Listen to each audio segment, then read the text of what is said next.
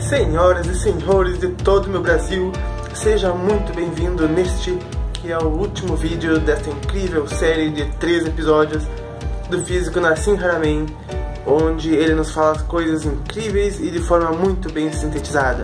Seja bem-vindo a este maravilhoso vídeo legendado e hoje, no último episódio, ele vai nos falar sobre as dificuldades que ele enfrenta ao trazer essa inovação para o mundo e também se está longe ou não de o nosso mundo dar um grande salto quântico em questão de como vivemos sobre o planeta, em questão de como eh, a nossa vida pode se tornar melhor e em quanto tempo vai levar para isso, será?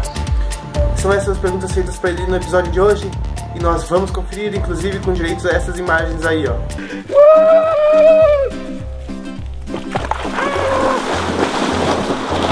É, isso aí tá muito incrível, não perca esse vídeo. O último episódio eu vou deixar aqui do lado o link para os outros dois vídeos, caso você ainda não tenha visto, a parte 1 e 2. Esta é a parte 3, é o final. Está muito legal e eu espero que você goste bastante. Deixe seus comentários e vamos ao vídeo.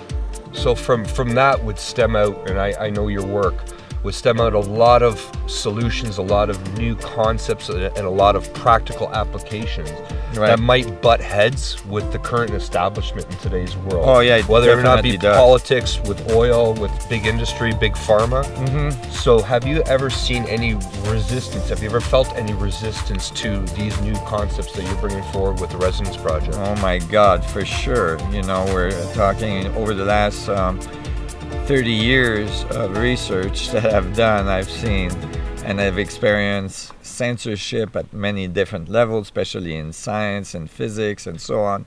Um, you know, it's extremely difficult to get heard. It's extremely difficult.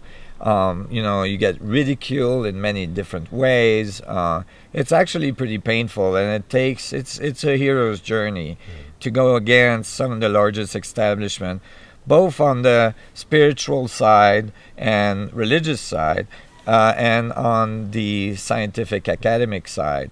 And so I've experienced many many events of censoring and, Well, and difficulties. Yeah, for the audience, Nassim writes uh, actual physics papers and tries to present them to, The I guess, scientific community. the scientific community, which are, I guess, institutionalized organizations like the big schools, the big universities of the world Yeah, that have had centuries of basically compartmentalization and censorship established within them to promote.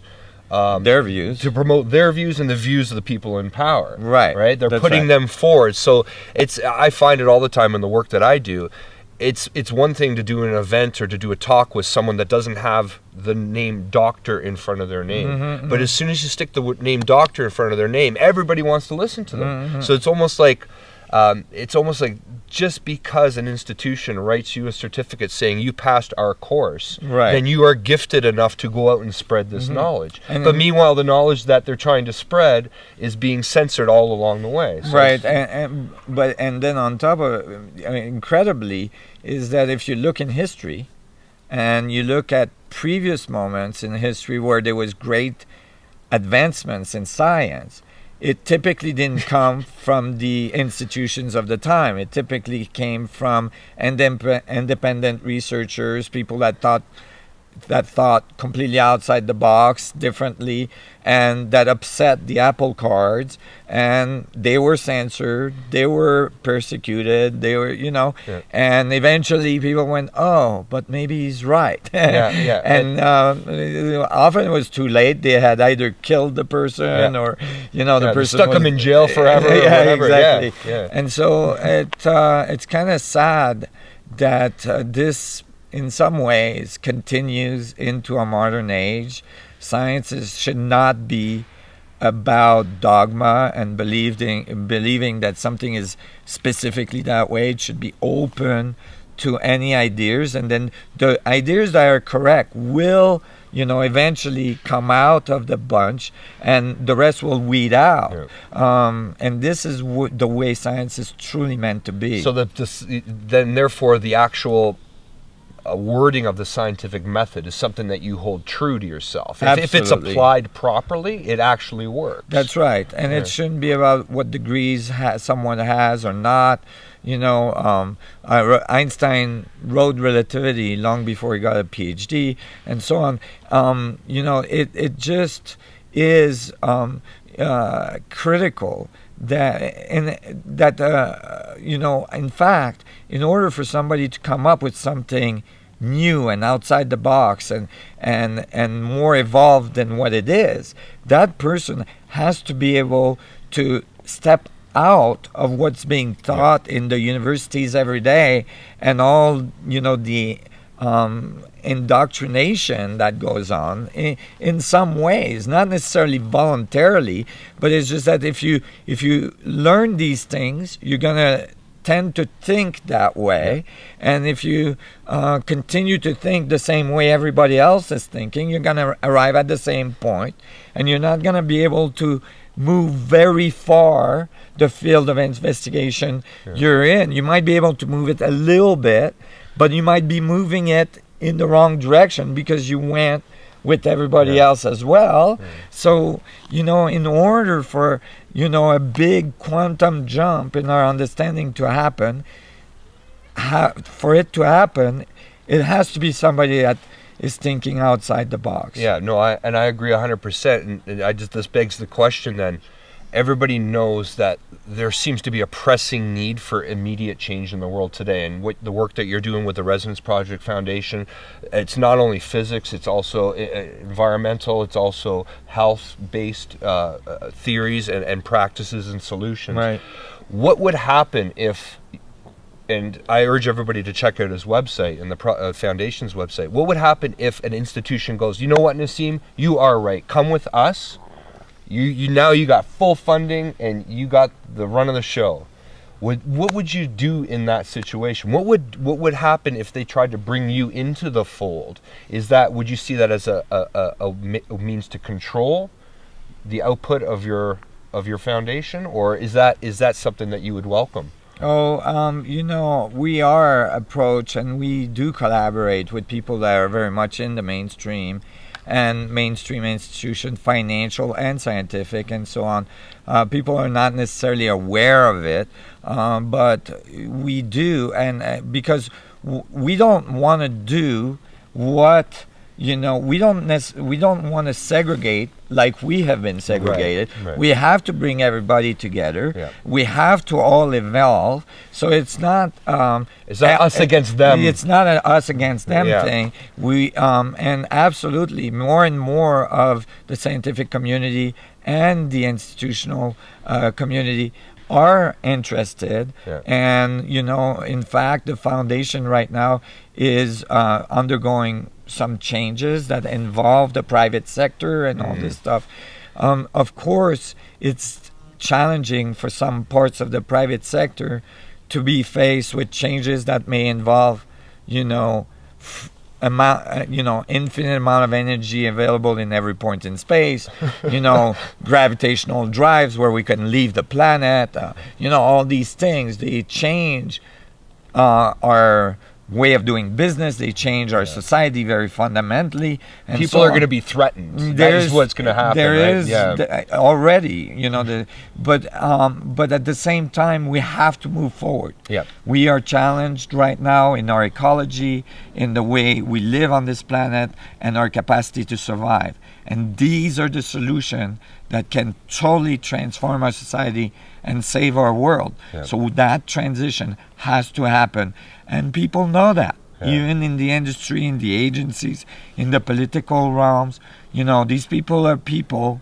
They have children, they have family, they want the earth to continue, they want our society to evolve.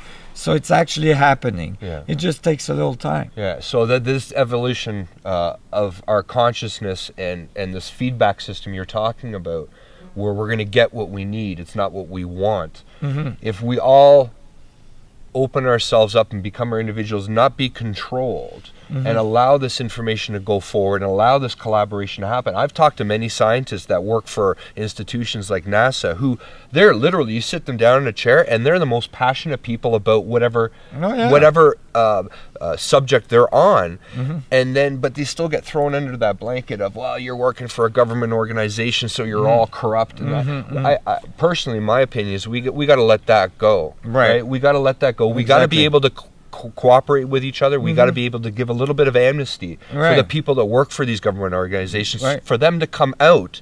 Yeah. And I'm sure you talk to them too. Oh, they, yeah. They and love your concepts. Absolutely. So yeah. some of them are very excited about what I'm doing, and they might not publicly talk about it. And, you know, many of them don't because, you know, if they do, then they, you know, they're under um, big uh, duress from their peers and their funding. and, and funding and institution. Yeah. and so it's not necessarily the best thing for them to do but they incorporate a lot of the stuff i do and others in their thought process and all this. And it, yeah. it's changing the world slowly from the inside. Right. And it's not for it's not because somebody works for a, a, a, governmental agency or even for the military or whatever that they're not people. They're people they have families they mm-hmm. have children and they're actually and most of them are doing things because they they think what they're doing is the best for the planet and yeah. they want to help you know they it might be misguided in some cases yeah. when they're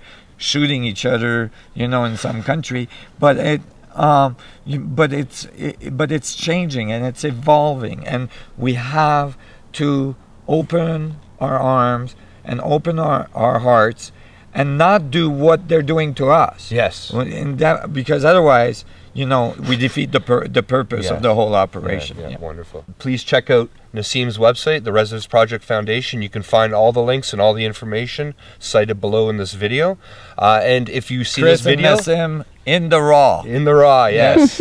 so thank you very much for watching, and uh, we'll talk to you soon. Let's jump in the oh, lake. Hear that loon? Ah, uh, yeah, right at the end. Okay, so let's go and connect with the universe. It's all fluid dynamics. Let's do it. Glacier water, here we go.